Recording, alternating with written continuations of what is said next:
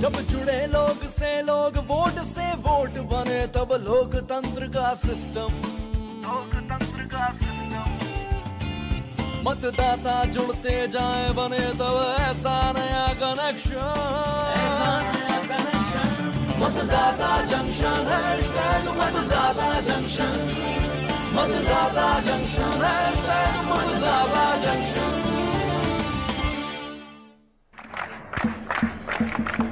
चुनावों की घोषणा होते ही सबकी जिम्मेदारियाँ बढ़ जाती हैं। स्वतंत्र निष्पक्ष और नैतिक निर्वाचन हो सोच समझकर सारी व्यवस्थाएँ की जाती हैं। लोकतंत्र का यही है मूल मतदान करने में ना हो भूल मतदान करने में ना हो भूल We are fully prepared. So now our request is to all the voters to get inked. Uh, the entire team in the ECI is ready to ink the voters please join us दुनिया के सबसे बड़े और सबसे जीवंत लोकतंत्र के रूप में भारत पर सभी का ध्यान केंद्रित रहता है। जहाँ चुनाव एक त्योहार है, जिसमें लोकतंत्र के रंग उभरते हैं और देश के सभी हिस्से उसमें समावेश होते हैं। चुनाव का पर्व, देश का गर्व। It is our promise to deliver national election in a manner that we add to our global shine and remain a beacon for electoral democracies across the world We are committed to give the nation a truly festive, democratic environment. नमस्कार दोस्तों अभी आपने सुना भारत के मुख्य निर्वाचन आयुक्त राजीव कुमार जी को, जिन्होंने अभी हाल ही में 18वीं लोकसभा के चुनावों की घोषणा करते समय ये बातें कही और सभी को मतदान के लिए प्रेरित भी किया, क्योंकि ये है चुनाव का पर्व देश का गर्व। और आज का हमारा विषय भी यही है। इलेक्शन अनाउंसमेंट यानी चुनावों की घोषणा। मतदान देने जाएँगे भारत के लिए दोस्तों इलेक्शन कराने में चुनाव आयोग की तैयारियों और कार्य पद्धति का अंदाज़ा लगाना आसान नहीं है। अनेक कामों को पारदर्शिता और दक्षता के साथ पूरा किया जाता है और सभी कामों के लिए स्पष्ट नियम बने होते हैं। बिल्कुल। भारत का चुनाव आयोग एक स्थायी संवैधानिक संस्था यानी कॉन्स्टिट्यूशनल बॉडी है जिसकी स्थापना 25 जनवरी 1950 को हुई थी और जो पूरी सजगता और सावधानी से ऐसा प्रबंध करती है जिसमें सभी वोटर्स अपने मताधिकार का प्रयोग सरलता से करते हैं। बिल्कुल सही कहा।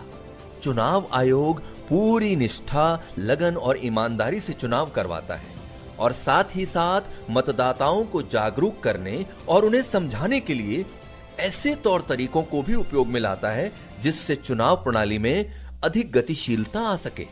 यानी मतदाताओं द्वारा जितना ज़्यादा सोच समझ कर वोट दिया जाएगा, लोकतंत्र भी उतना ही गौरवशाली हो जाएगा। जी, भारत के चुनाव आयोग का काम लोकसभा का कार्यकाल पूरा होने से पहले ही स्वतंत्र और साफ़ सुथरे तरीकों से चुनावों को करवाना है। जी सभी की सहभागिता के साथ सुगम समावेशी और सुरक्षित निर्वाचन यानी इंक्लूसिव एंड सिक्योर इलेक्शन कराने के लिए भारतीय निर्वाचन आयोग प्रतिबद्ध है। चलिए एक बार फिर से सुनते हैं भारत के मुख्य निर्वाचन आयुक्त राजीव कुमार जी को। जब बूथ बनाए तो हमने अपने पर्सनल को, जो टीम्स हैं, उनको बहुत अच्छे से ट्रेन करके तैयार किया है। हमारे जितने एम्प्लॉयज़ हैं, वो सब तैयार रहेंगे इस बात के लिए। Wherever it takes they will walk an extra mile so that voters don't have to mile पहाड़ के बर्फ़ में भी जाएँगे, जंगल में भी जाएँगे, नदी में भी जाएँगे, घोड़े पर भी जाएँगे, काठ के ब्रिज पर भी जाएँगे, हेलीकॉप्टर से भी जाएँगे, हाथी से भी जाएँगे, बर्फ़ में भी चलेंगे म्यूल से भी जाएँगे। सिर्फ़ हर जगह पहुँचेंगे ताकि वोटर अपना वोट दे सकें। शहर में ये अभियान चलाएँगे। हर एक वोट बहुमूल्य है, सबको ये बतलाएँगे। हर चुनाव में वोट डाल के, हर चुनाव में वोट डाल के अपना फ़र्ज़ निभाएँगे। अपना फ़र्ज़ निभाएँगे। दोस्तों संविधान के अनुच्छेद 324 के तहत भारत निर्वाचन आयोग को चुनाव संपन्न कराने की ज़िम्मेदारी दी गई है। जी हाँ जन प्रतिनिधित्व अधिनियम 1951 यानी रिप्रेजेंटेशन ऑफ़ पीपल एक्ट 1951 के सेक्शन 14 द्वारा नई लोकसभा के लिए निर्वाचन करने का प्रावधान है।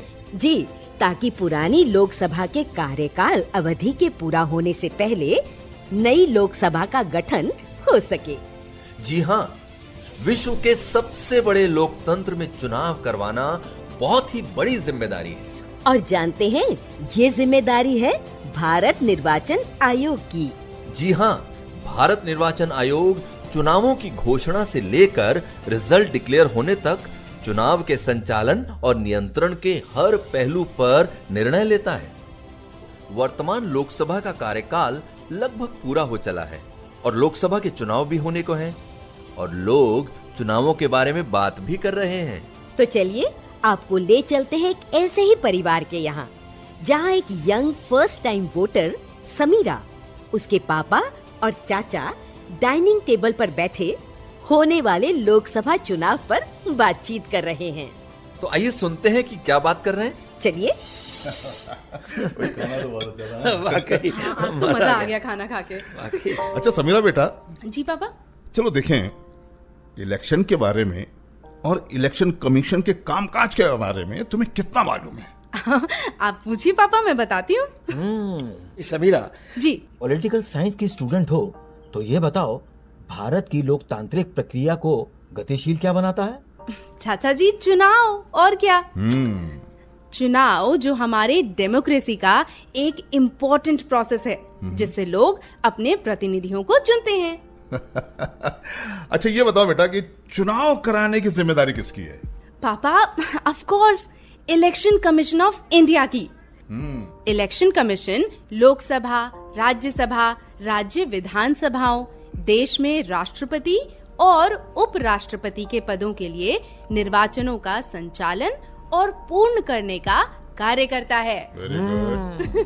वेल सेट समीरा चुनावों की तैयारी पूरी करते ही निर्वाचन आयोग की ज़िम्मेदारी हो जाती है कि वो चुनावों की तिथियों की घोषणा करे। जी चाचा जी। और उसके अनुसार आयोजन कराए। हम्म और सुपरविजन करे।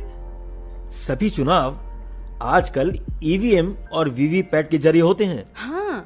इन सभी मशीनों की सभी प्रत्याशियों और राजनीतिक दलों के प्रतिनिधियों के सामने साफ़ सुथरे तरीके से नमूना यानी डेमोन्स्ट्रेशन कराकर यह स्पष्ट किया जाता है कि ईवीएम और वीवीपैट अब चुनाव के लिए प्रयोग आने योग्य है।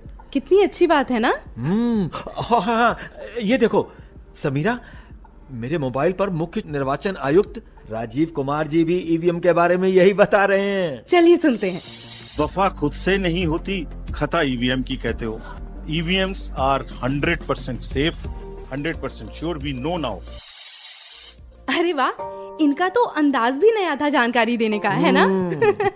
और चाचा जी हाँ। चुनाव आयोग निर्वाचक नामावली यानी इलेक्टोरल रोल तैयार करवाता है।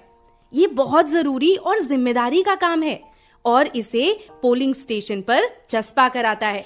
बीएलओ यानी बूथ लेवल ऑफिसर द्वारा वोटर्स गाइड और मतदाता पर्चियाँ घरों में पहुंचाई जाती हैं। जी शाबाश बेटा। थैंक यू पापा और एक बात लोकसभा कार्यकाल पाँच वर्ष का होता है। जी। चुनाव के लिए सबसे पहले निर्वाचन आयोग अधिसूचना यानी नोटिफिकेशन जारी करता है। हाँ पापा। और नोटिफिकेशन जारी होने के बाद तीन स्टेप्स होते हैं। नामांकन निर्वाचन तथा मतगणना। बिल्कुल ठीक। मतलब nomination election and counting of votes right Samira अच्छा एक और खास जानकारी देता हूँ तुम्हें ईवीएम के बारे में। जी। देखो भाई चुनाव के दिन मतदान की समय सीमा पूरी होने के बाद सभी उपस्थित राजनीतिक दलों के प्रतिनिधि प्रत्याशियों उनके एजेंट्स के सामने ईवीएम और वीवीपैट को सुरक्षित भवन में सशस्त्र बलों की निगरानी में रखा जाता है। एक बार चुनाव के पूरे रिजल्ट्स सही तरीके से घोषित हो जाने के बाद निर्वाचन आयोग की ज़िम्मेदारी पूरी होती है। जी चाचा जी पापा चुनावों की तिथि की घोषणा जैसे ही होती है सभी प्रत्याशियों राजनीतिक दलों और सभी सरकारों के लिए मॉडल कोड ऑफ़ कंडक्ट लागू हो जाता है है ना? हम्म और तब से लेकर परिणामों की घोषणा और चुनावी प्रक्रिया पूरी होने तक मॉडल कोड ऑफ़ कंडक्ट लागू रहती है। भाई देखो मैं समझता हूँ कि पार्टियों और उम्मीदवारों को चुनाव लड़ने के लिए स्वतंत्र होना चाहिए और मतदाताओं को कुछ वास्तविक विकल्प प्रदान करना चाहिए। बिल्कुल ठीक रघु। भाई देखो मेरा ऐसा मानना है कि हर किसी को ना स्वतंत्र सोच बिना किसी दबाव या डर के मुक्त मन से मतदान करने का हक है। और इसके लिए सभी प्रत्याशियों के विषय में पूरी व सही जानकारी करके ही निर्णय लेना ठीक है। हाँ। बिल्कुल सही पापा। और पापा हर किसी को know your candidate mobile app पर जाकर इसकी जानकारी लेनी चाहिए। बिल्कुल। और देखना चाहिए कि कैंडिडेट का कोई क्रिमिनल रिकॉर्ड तो नहीं है। क्योंकि ऐसा नहीं किया तो बाद में पछताने से क्या फ़ायदा? हम्म बिल्कुल। हम सब पूरी जानकारी लेंगे और वोट ज़रूर डालेंगे। बिल्कुल हम सब पूरी जानकारी लेंगे और वोट ज़रूर डालेंगे हम। बिल्कुल वोट ज़रूर डालेंगे हम। तो चलो फिर कुछ मीठा हो जाए। हाँ हाँ पापा मैं नहीं, नहीं, हूँ। जानकारियाँ कितनी भी हो मानो सभी अधूरी है। वोट हमारा किसको जाए, इस पे ध्यान ज़रूरी है। लालच धमकी, बेईमानी का ना कोई इसमें रोल है। मत का मोल नहीं है कोई, ये तो बस अनमोल है।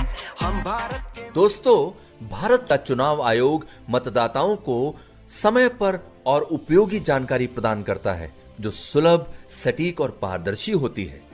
जो समावेशी और सुगम निर्वाचन के लिए बहुत ज़रूरी है। बिल्कुल ठीक कहा। भारत के नागरिक होने के नाते ये हमारी ज़िम्मेदारी बनती है कि हम चुनावों के लिए बने हर तरह के नियमों का पालन करें और पालन करने के लिए उसकी जानकारी दूसरों को भी दें।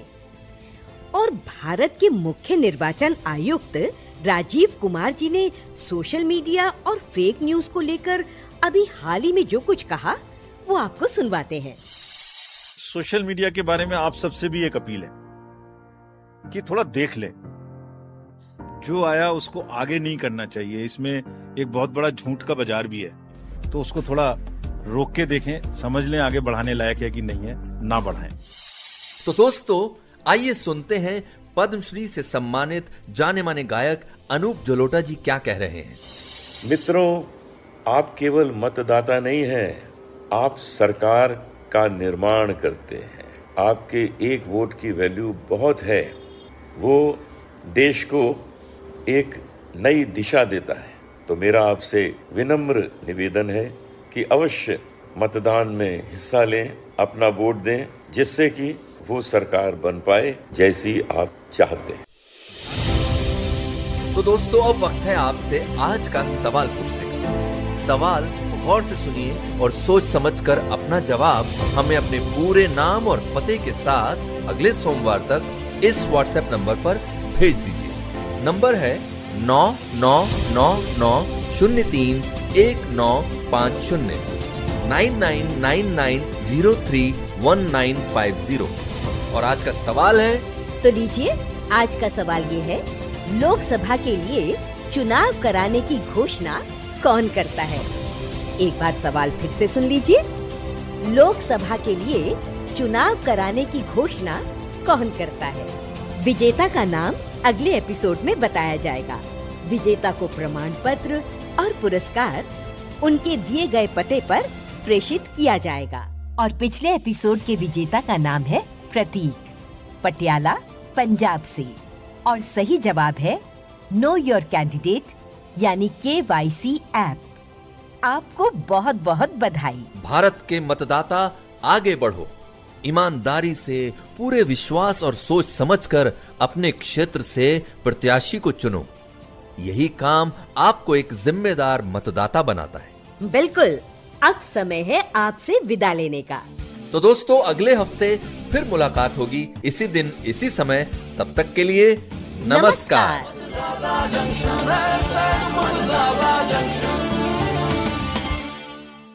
अभी आप सुन रहे थे कार्यक्रम मतदाता जंक्शन। अगले सप्ताह इसी दिन, इसी समय मिलेंगे। तब तक जुड़े रहिए आकाशवाणी के साथ।